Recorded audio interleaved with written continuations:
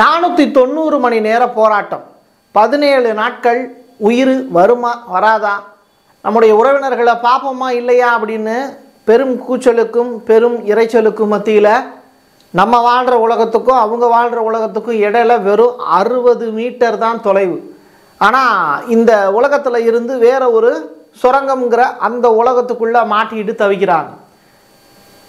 முதல்ல நிலச்சரிவு அப்படிங்கிற ஒரு வார்த்தையை தான் பயன்படுத்தினாங்க சேட்டலைட் சேனல்கள். அதற்கு பிறகு தான் தெரிஞ்சது அந்த சுரங்கம் அமைக்கும் போது காங்கிரீட் சுவர்கள் இடிஞ்சு விழுந்துருச்சு அப்படிங்கிறதுனால. இமயமலையினுடைய அடிவாரத்தில் இருக்கக்கூடிய பாறைகள் இளமையான பாறைகள் அப்படிம்பாங்க. ரொம்ப இலகுவான பாறைகள் அப்படிம்பாங்க. அந்த பாறைகள் அமுக்கிறதுனால அந்த காங்கிரீட் சுவர்கள் வந்து கீழே விழுந்துருச்சு அப்படிங்கிற ஒரு செய்திகளும் வந்துக்கிட்டு இருக்குது இப்படிப்பட்ட சூழ்நிலையில் இந்த நாற்பத்தி ஓரு பேரும் பத்திரமாக மீட்கப்பட்டு விட்டனர் அப்படிங்கிற ஒரு நல்ல செய்தி இந்தியா முழுவதும் பரவிக்கிட்டு இருக்கு ஆனால் எப்படி அதை மீட்டாங்க அப்படிங்கிற ஒரு பெரும் கேள்வி.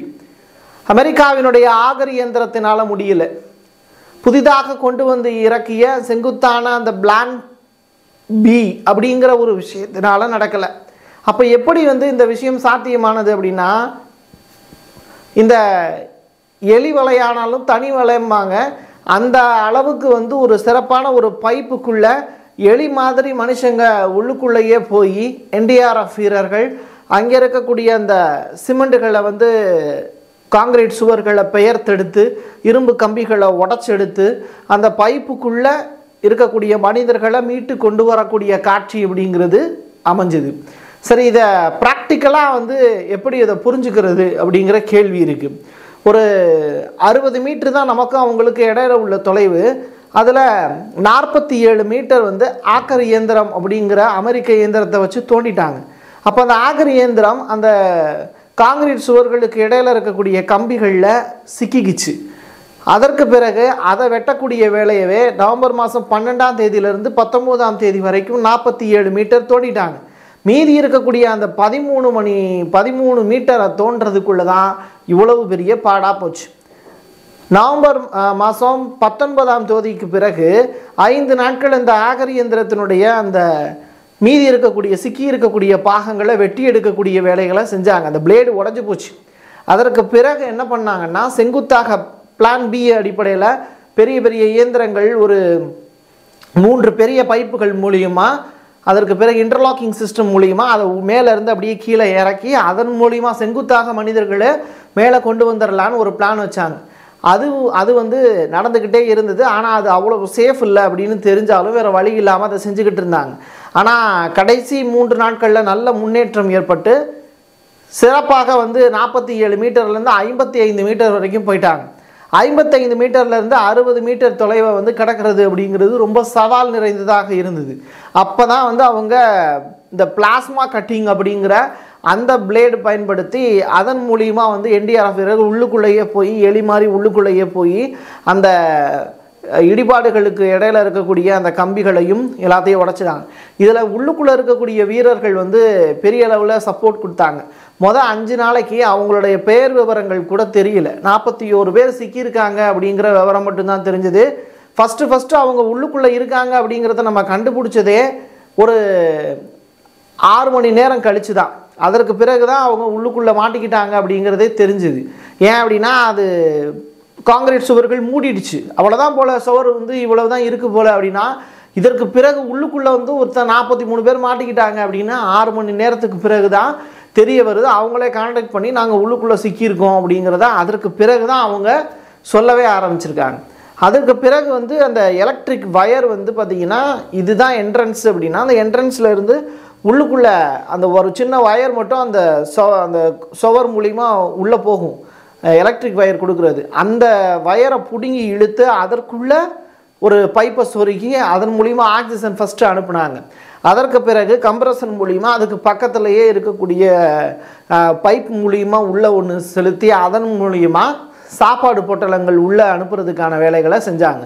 மருந்து பொருட்கள் புகையிலை பொருட்கள் பேட்டு பால் உள்ளிட்ட பொருட்கள்லாம் உள்ளே அனுப்புனாங்க செஸ் போர்டு உள்ளிட்ட பொருட்கள்லாம். அதற்கு பிறகு அந்த மனுஷங்க வெளியில் வரணும் அப்படின்னா பக்கவாட்டிலேயே துளைகள் அமைக்கக்கூடிய வேலையை கீழே இருந்து செஞ்சாங்க மேலேருந்து செங்குத்தாங்க செங்குத்தாக அமைக்கக்கூடிய வேலையை பிளான் பி செஞ்சாங்க. இப்போ இந்த பக்கவாட்டு வழியாக போகும்போது அந்த மக் அவங்களுக்கு இருக்கக்கூடிய பெரிய அளவிலான சிரமம் அப்படிங்கிறது ஆட்கள் பற்றாக்குறையாக இருந்தது. அப்போது தமிழ்நாட்டில் இருந்து ஆட்கள் போனாங்க. பெங்களூர்லேருந்து ஆட்கள் போனாங்க. மெட்ரா சேப்பர்ஸ் அப்படிங்கிற அந்த குழு போனது. என்டிஆர்எஃப் போனாங்க எஸ்டிஆர்எஃப் போனாங்க. தொடர்ந்து ஆயிரக்கணக்கான வீரர்கள் கடந்த பதினாறு நாட்களாக அங்கேயே இருந்தாங்க. நம்முடைய தமிழ் தொலைக்காட்சியில் புதிய தலைமுறையினுடைய தொலைக்காட்சி செய்தியாளர் நண்பர் அவரை நேரடியாக அங்கேயே போய் நிரஞ்சன் நேரடியாக அங்கேயே இருந்து ஏகப்பட்ட தகவல்களை சேகரித்து மக்களுக்கு சொல்லிகிட்டு இருந்தார் சிறப்பாக. அவருக்கு உண்மையிலேயே பிரசாத் சிக்னேச்சர் சார்பாக பாராட்டுக்கள். அதனை தாண்டி வந்து அந்த கேஸ் உள்ளே போயிடுச்சு ஆக்சிஜன் உள்ளே போயிடுச்சு சாப்பாடு உள்ளே போயிடுச்சு. சரி இவங்களை எப்படி மீட்கிறது அப்படிங்கிற ஒரு பெரிய கேள்வி. அந்த கேள்விக்கான பதில் தான் சரியாக செவ்வாய்க்கிழமை மா இரவு நேரத்தில் சரியாக ஒன்பது மணிக்குள்ளே நாற்பத்தி ஒரு பேரையுமே வந்து அந்த ஃபைபர் ட்ராலி அனுப்பி உள்ளுக்குள்ளே அனுப்பி மனுஷங்களை வச்சே தோண்டி எடுத்து அப்படியே உள்ள ஃபைபர் ட்ராலியில் படுக்க வச்சு அவங்கள கொண்டு வந்தாங்க என்டிஆர்எஃப் வீரர்கள். இதுக்கு இடப்பட்ட கேப்பில் ஒரு சின்ன ஒரு பிரச்சனை ஒன்று நடந்தது.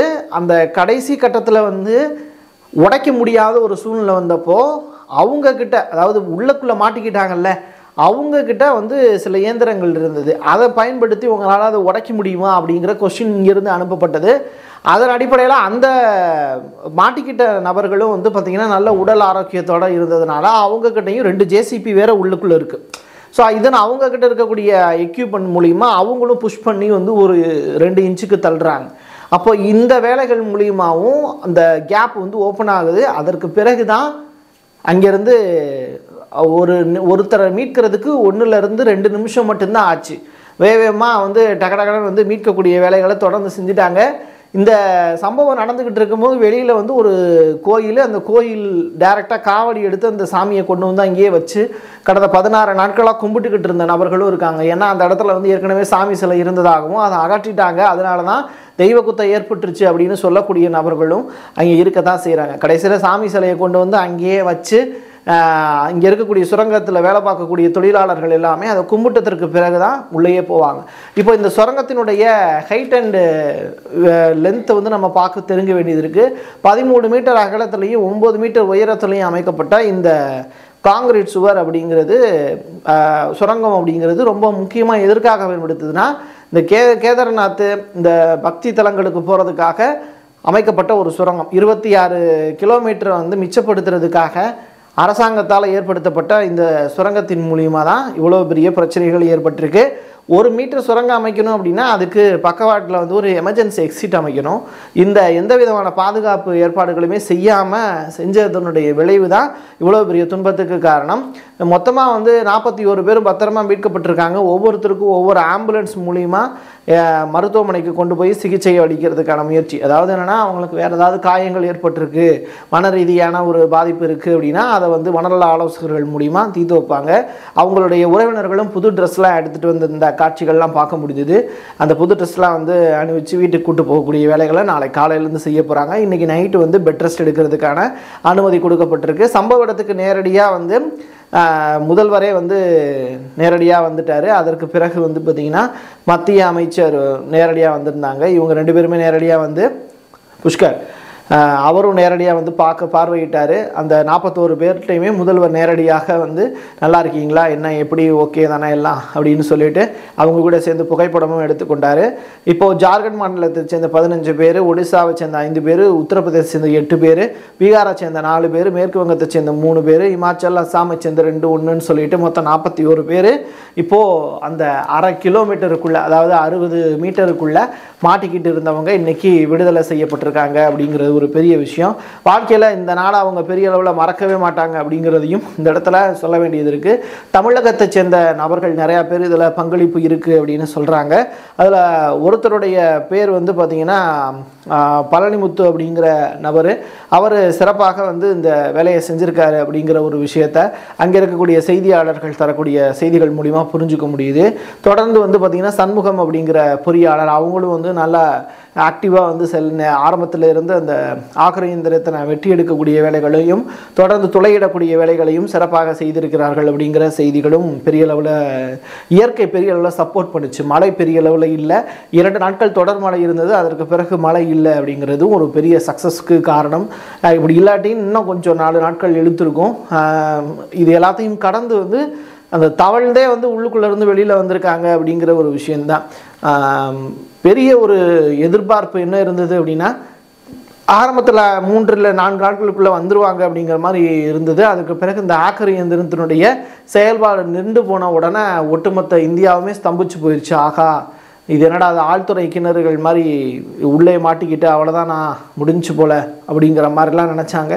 ஆனால் ஆயுதங்களால் செய்ய முடியாது இயந்திரங்களால் செய்ய முடியாததை மனிதர்களுடைய உழைப்பின் மூலியமாக இதை செஞ்சு காமிச்சிருக்காங்க. உள்ளுக்குள்ளேயே பைப்புக்குள்ளேயே போய் நேரடியாக வந்து எலி மாதிரி வந்து சுரங்கத்தை தோண்டி தோண்டி தோண்டி தோண்டி உள்ளே இருக்கக்கூடிய மண்ணையும் சிமெண்டையும் அகற்றி கம்பிகளை அகற்றி என்டிஆர்எஃப் வீரர்களும் எஸ்டிஆர்எஃப் வீரர்களும் செய்திருக்கக்கூடிய மகத்தான சாதனை அப்படிங்கிறது இன்னொரு உலகத்துக்குள்ளே மாட்டிகிட்டு இருக்கக்கூடிய சக மனுஷனை மீட்டு கொண்டு வருவதற்கான பெருமுயற்சியில் வெற்றியும் பெற்றிருக்கு. இது இந்திய அரசுக்கான வெற்றி கிடையாது. உழைப்பாளர்களுக்கு கிடைத்த வெற்றி.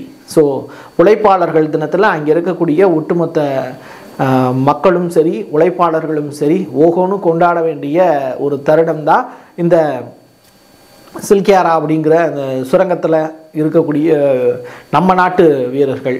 நான் ஸோ ஏ அமெரிக்காவினுடைய இயந்திரங்களால் கூட சாதிக்க முடியாததை ஒரு நம்முடைய தமிழர்களும் நம்முடைய இந்திய சேர்ந்த சிறந்த உழைப்பாளர்களும் சாதிச்சு காட்டியிருக்காங்க.